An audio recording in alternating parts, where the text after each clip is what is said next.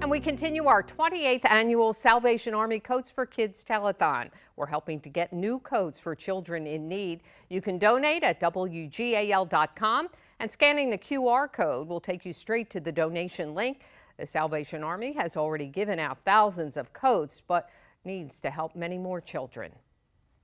The demand is definitely there. We know that prices have skyrocketed and we know that people are struggling in the economy in our local community. Um, and so if the Salvation Army can provide coats for, for young ones um, and teenagers, then we've helped a little bit of the burden that families are facing.